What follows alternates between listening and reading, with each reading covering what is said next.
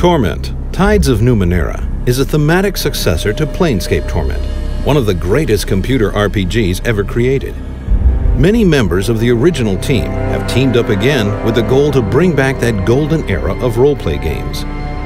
The new Torment game explores similar deep and personal themes of life, mortality, and sacrifice, challenging players to take intellectual stances and make moral decisions.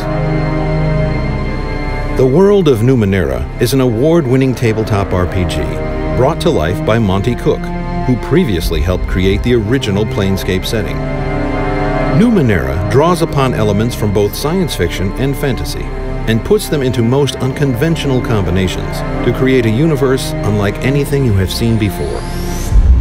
Your adventure takes place in the Ninth World, which is Earth one billion years in the future. Eight other civilizations rose and fell, leaving behind remnants of their advanced and often bizarre technology. These devices are known as the Numenera, and the whole Ninth World struggles to discover their full potential. The tides are unseen forces that affect all inhabitants of the game world, including the player. They are represented by five colors and stand for specific emotions, convictions, and actions. Every single action or choice you make in the game changes your relationship to the particular tides.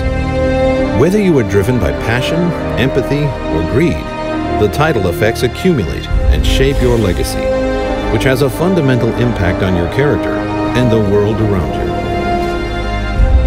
Ultimately, the tides will help you find your own answer to the most fundamental question.